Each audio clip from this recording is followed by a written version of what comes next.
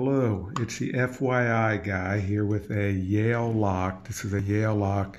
Schlage locks are the same, but this is a commercial Yale lock, and I'd like to remove this tumbler. I want to change the key um, in it. So in order to get this tumbler out, you're going to have to remove this handle, okay? But it's locked. It's locked in. This pin here needs uh, to be inserted and there's a catch that needs to be pushed in in order for this handle to come out. Well, you're going to need the key. You will not be able to do this without the key. So put the key in and turn it, okay?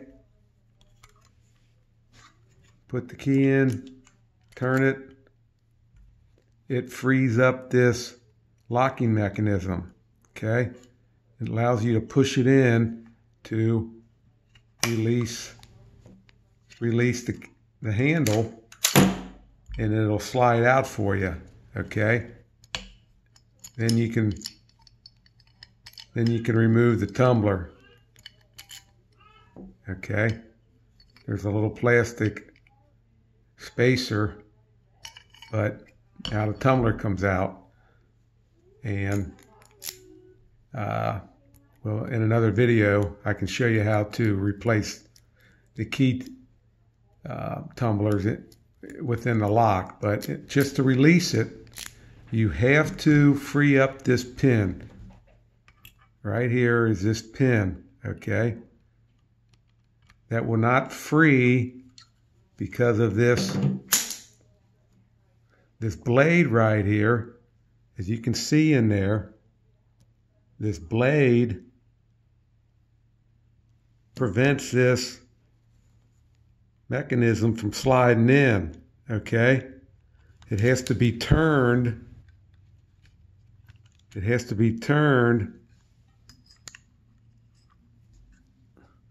with the key like that. It has to be turned in order for the locking me mechanism to not be stopped by this blade. Hope that makes sense. It's pretty simple, but you do need the key. It will not release without having the key.